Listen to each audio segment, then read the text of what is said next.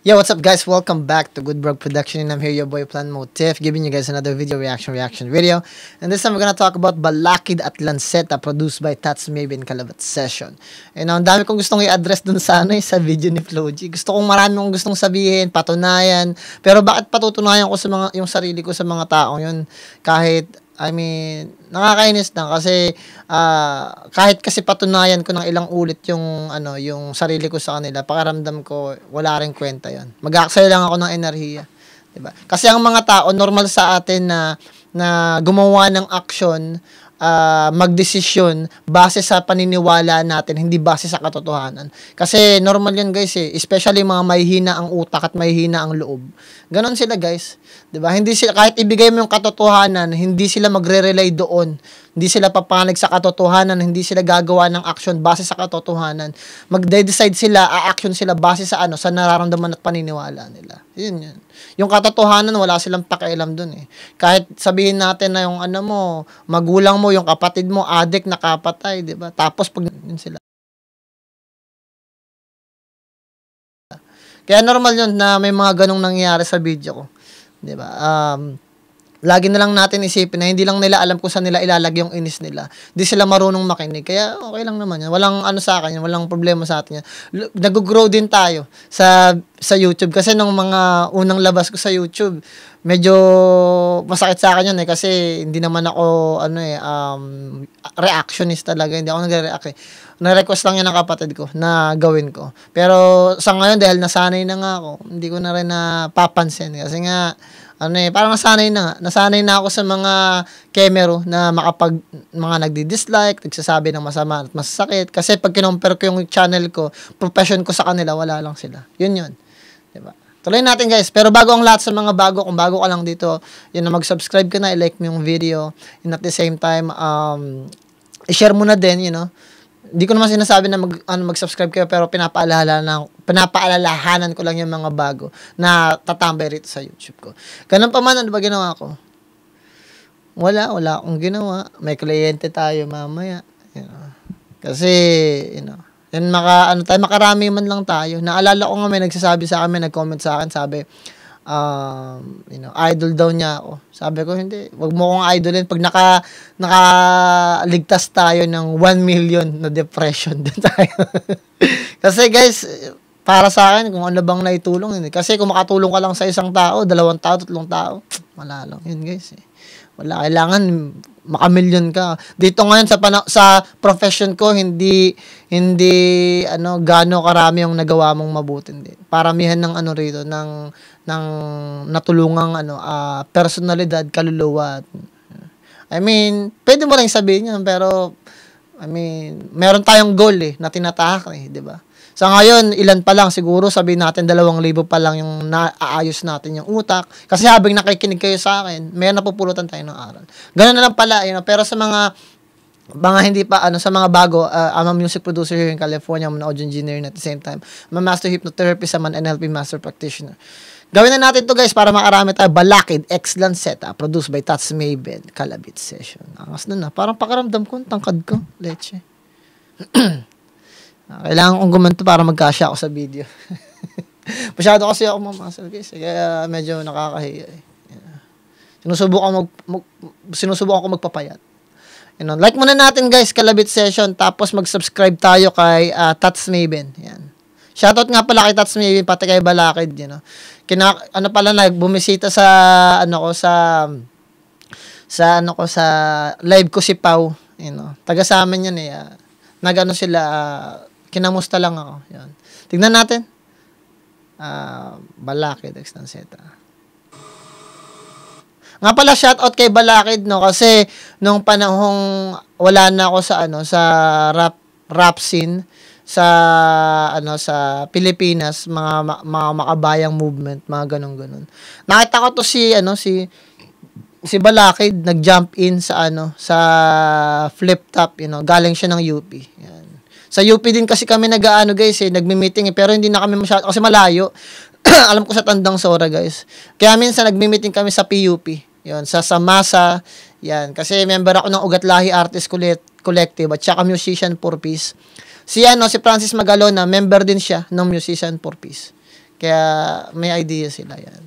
Sa masa, dun, sa, dun sila nag, ano, nagmi-meeting, kailan yung mga ganito, ganyan, mga rally-rally, mga ganun. Yung mga performance nila, line up nila, yon Tuloy natin, guys. may mga line up sila guys, eh. yung pag 'di ba pag nagra-rally akala ninyo basta nagsisigawan lang sila, hindi guys. Meron track doon tapos ginagawa, ginagawa nila yung track na stage. Tapos sa stage na yon, may mga nagpe-perform, may mga nag may kumakanta, usually kumakanta, may mga katutubo, mga katutubo at magsasaka natin nagpapahayag ng nararamdaman nila. Tapos uh, meron namang mga mga artist collective na nagagawa ng theatrical ano uh, na pagsasadula ng ano ng mga kung paano namatay yung mga magsasaka natin, kung paano sila minasakyan sa Hacienda La Visita. Syempre minsan nakakapag-perform ang inyong lingkod. yun, yun. May mga guest din tayo minsan mga ano, mga independent na artista. Kilala niyo naman yun eh, may mga artista na aktivista eh. You know, na lagi nandoon sa ano, independent film. Kilala niyo yung iba doon, di ba? Yun. Ganun pa man, gawin na, tuloy natin Balakid. Shoutout nga pa kay Balakid, yun. Tuloy natin.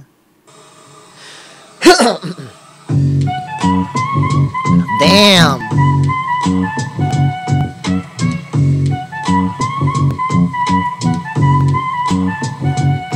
Walang babala pabala, mga para kumbuga Kung magbuhol-buhol ng mga kabuluhan Kaya halos walang halaga sa mga hulog-hulog Galang humalugog ng halo-halo kahulugan. Sigmura umalang, bito ka humalang. Kaya lahat ng salitang isuka umanghang. Kung makikita ninyo rito yung pag ano pag structure ni Balakid ng ng rap niya iba 'di ba? Iba yung format.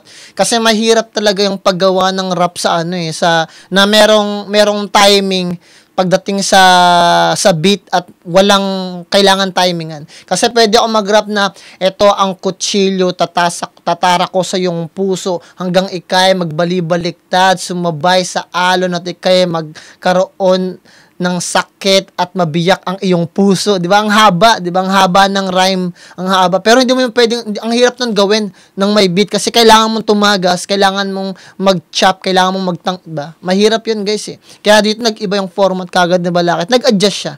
Pakinggan natin ulit kung ano yung sinasabi niya.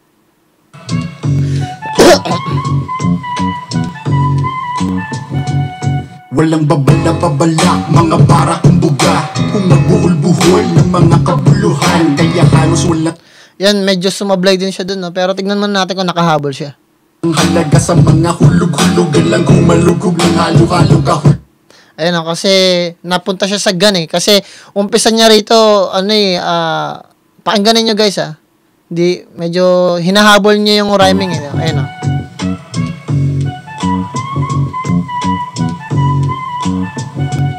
Walang babala pabala, mga para kumbuga Wow. Ayan, oh. kung papansinin niyo guys, nag-start siya sa babala-babala, mga bara kong buga. Meron kang ga, tsaka ga, 'di ba? Pakinggan niyo kung saan nagtatapos yung ano niya. Nagtumalon nga siya. Walang babala, babala mga para kumbuga. Kung nagbuhol-buhol ng mga kabuluhan. Yan, nagbuhuluhan. Nawala, naputol yung, yung ano niya, yung rhyming niya dun eh. Pwede niyang i-rhyme yung la, yung ano, kabulu, ka, ang hirap nga nun. Kabulu, ha. Pwedeng ha, tapos silent yung kabulu ha, mga ganun. Pero tumalon siya sa rhyme scheme niya dito eh. Tuloy natin guys.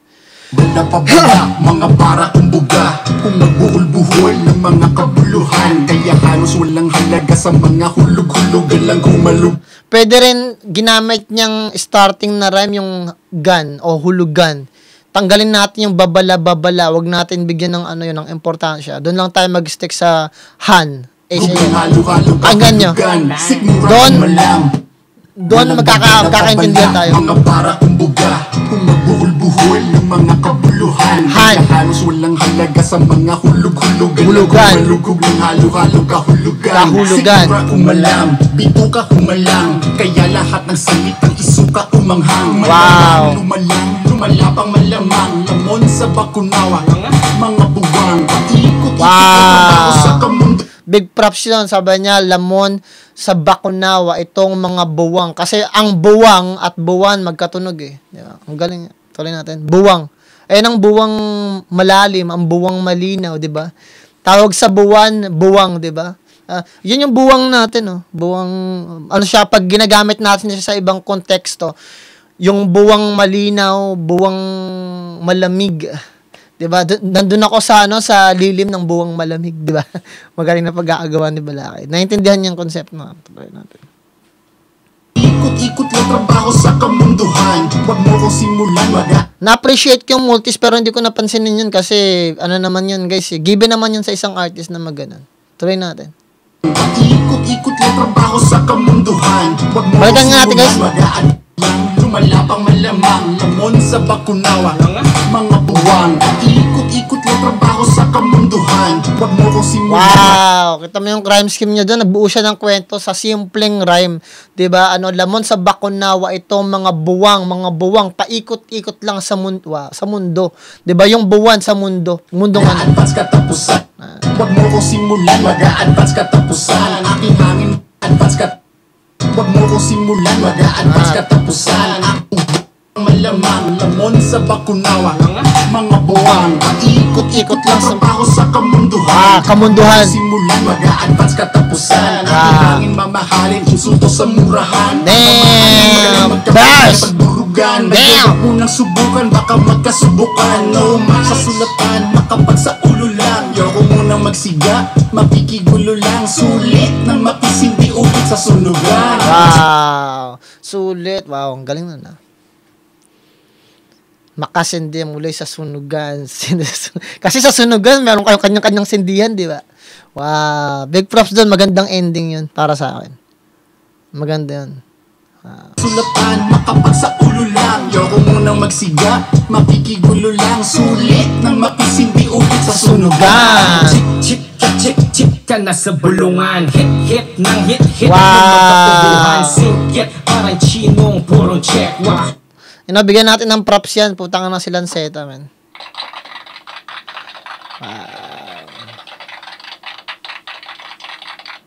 Meron tayong musika at ingay. Pero kung kaya mong i-rhyme ang ingay, wow, ginamit niya yung ingay bilang isang konsepto, yung effects mimo, ni, ah, mismo, para makagawa ng isang bara, napaka, napakagaling nun, guys. 'Di ba yung iba nga gumagamit ng effects din eh. Boom boom boom boom, 'di ba? Pero ito ginamit niya chik. Wow, ang galing. Big props doon. Nabigatan ako doon sa kay Lanceta kasi meron siyang creative mindset, 'di ba? Ma mahirap hanapin yun sa isang artist na magkaroon ng creative mindset. You know, at makapag-produce ng kakaibang ah, um, you know, ah, idea, you know na hindi pa kagaanong naiisip o hindi nabibigyang importansya kasi marami tayong mga idea na hindi masyadong nabibigyan ng importansya until mabigyan natin ng focus. 'Di ba? Pag pinagpokusan natin yung ganong klase ng detalye, eh malaking impact 'yon. Kasi yun yung mga bagay na parang hindi pinapansin ng ibang mga artist kasi pakiramdam nila wala yung ano, sustansya. Pero para sa akin napakaganda nun kasi bihira ang makakarinig sa isang rapper na mag-rhyme you know, at gumamit ng mga effects, tunog, at saka mga ganong klase ng mga salita. Chik ka na sa bulungan Hit, hit ng hit, hit ng mag Sulit na makisindi ulit sa Sa sunugan, check, check, Chik, chik ka na sa bulungan. Hit, Wow. hit ng hit, hit ng magkaubuhan. Damn! parang chinong puro check. Wow, i-check ka ching chong Tunog pera na biniso pa Wow! Nakinig ang masa. Walang Facts! Ching chong, parang tunog pera. Ching chong, di ba? Wow, galing. Galing nila. Shoutout nga pala sa mga Pilipinong in-check sa Pilipinas. Yan, ah. I mean, marami din mga Pilipinong in-check na galit sa China dahil nga mas gusto nila yung Pilipinas at napamahal din sila sa bansang Pilipinas. Dahil yung kultura natin ay kakaiba.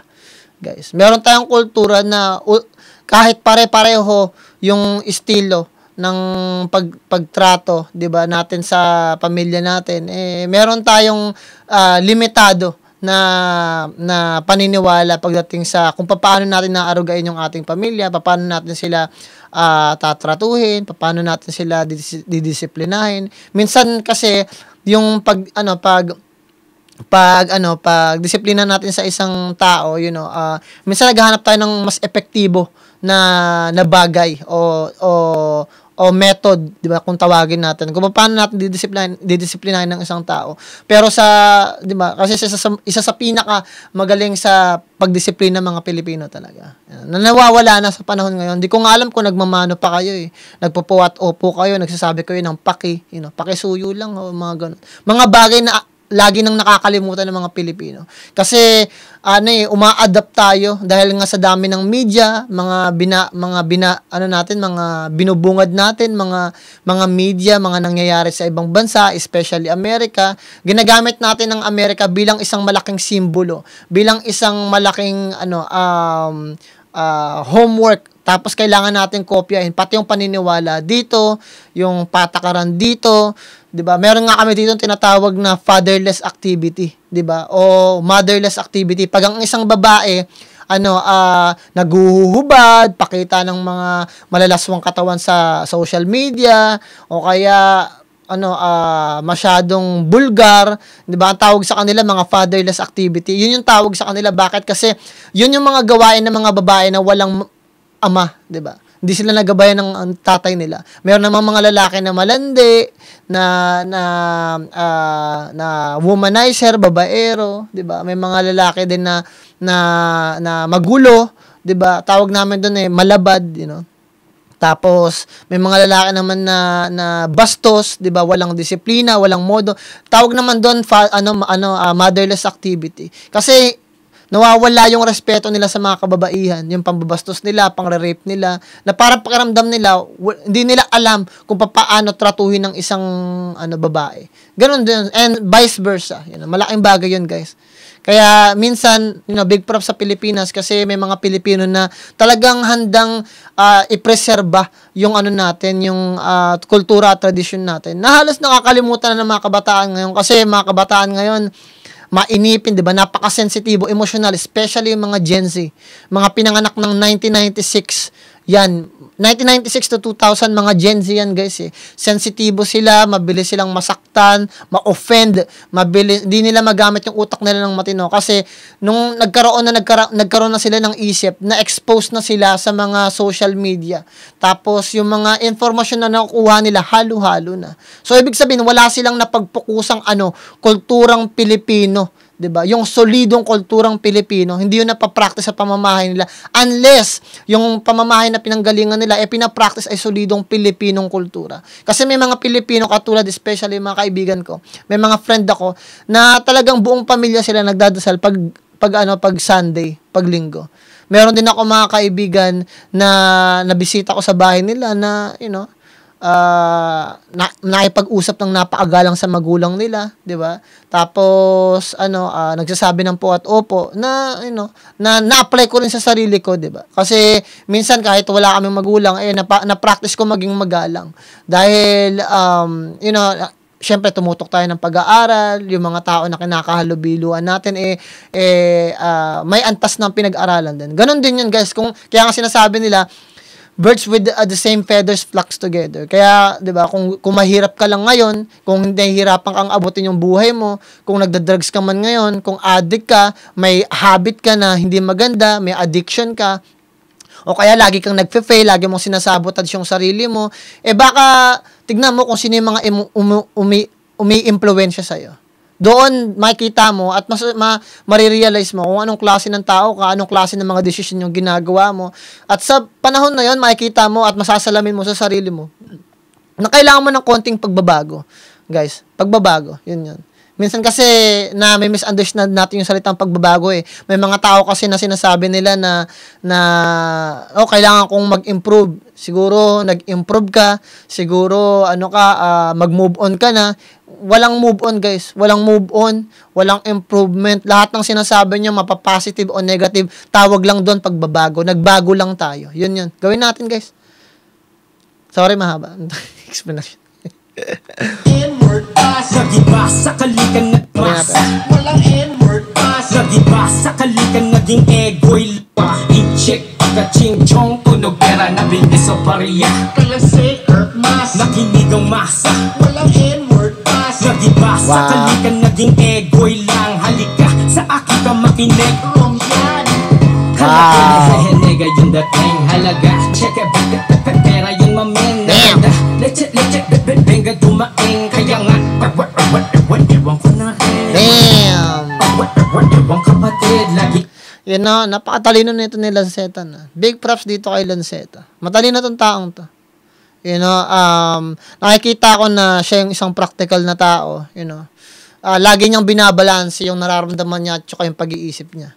I mean, emotional siya, sensitibo rin siya sa kanyang pakikinig, pero minimake sure niya na, na, marun, na natitimbang niya ng maayos bago siya magsalita, gumawa ng action, you know. Kaya okay yun, you know. Diba? Um, inisip ko pa rin eh, kasi sinusuri ko yung kanyang pagkatao base sa akin naririnig. Tuloy natin guys. Na Nakalive yang Great and kaya shit Alin na sa may right Nag amen na mag-spit Lanseta nasa may Ano daw? Nawala tuloy, sorry. Kasi umarang yung ano eh. Smaven na sa beat beat Yun na yan. Maikli lang pala. 2 minutes lang pala. Sorry, sorry.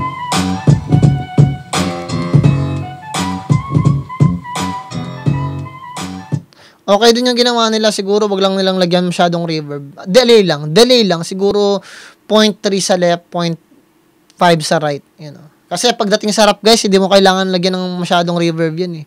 Kung hanggat maaari nga, walang reverb. Delay lang. Delay. Tapos sa mastering na lang yan. Mastering na lang ng konti. Lagyan nyo lang ng konting auto-tune. Huwag nyo nang sobrahan. Para lang makorek lang. Minsan yung iba, kasi minsan yung ibang rapper, kumak napapakanta sila habang nag-rap eh. Kaya ganun. Maganda yan kasi boom bap. Um, aside from that, siguro, dahil freestyle lang to, hindi ko naman kailangang iskoran. Pero kung iskoran ko to, bibigyan ko to ng 10. Kasi, ano, na, na, nakakabusog, nakaka, ano, marami tayong natututunan, marami tayong pwedeng ipamahagi. Kasi pwede yung sinasabi nila, maging topic natin at usapan natin. Ganun pa man na, ano, um, Yeah, maganda. Maganda yung musika. Sana maraming ganyang klase ng session. You know, big props dito kay Balakid at Lanceta. Mag-subscribe kayo kay Tats Maven. And aside from that, you know, gawin niyo lahat na makabubuti para sa inyo, sa mga, sa pamilya ninyo, sa mga tao nakapaligid sa inyo, you know, at saka sa mga kaibigan ninyo. Magdasal kayo palagi, guys. Yun na lang pala. Plan motive nga pala, good bro. Sana tapusin niyo yung video. Peace.